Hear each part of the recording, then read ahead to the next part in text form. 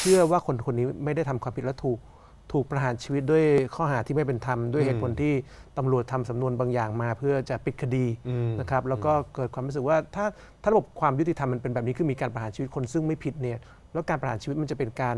การลงโทษที่มันถูกต้องไปได้ยังไงอืมในในนามของพระเจ้าครับเลยก็ตามแต่แล้วปรากฏว่าพอปี 2006เนี่ยมีนักข่าวของ Chicago Tribune สองคน ไปทำข่าวสืบสวนเรื่องการเสียชีวิตการประหารชีวิตนักโทษคนนี้คาร์ลอสเดอลูน่าเนี่ยปรากฏว่านักข่าวทำเป็นข่าวเจาะออกมาชิ้นหนึ่งซึ่งโด่งดังมากในอเมริกา พบว่าคนที่เป็นคนก่อคดี ซึ่งทำให้คาร์ลอสเดอลูน่าถูกประหารชีวิตเนี่ยเป็นคนอื่นอืมก็เลยกลายเป็นว่าสิ่งที่ศาสตราจารย์ท่านนี้เชื่อเนี่ยก็เป็นความจริงว่าโทษประหารชีวิตในกรณีนี้มันประหารผิดคนคาร์ลอสเดอลูน่าก็ก็ตายไปก็แล้วตายด้วยไปแล้วนะเพราะสารคดีชิ้นนี้ก็กลายเป็นงานซึ่งซึ่งเกิดขึ้นมาเพื่อดูว่าจริง ๆ แล้วการประหารชีวิต ซึ่งเวลามีเหตุร้ายในสังคมเกิดขึ้นเนี่ยเราคิดว่า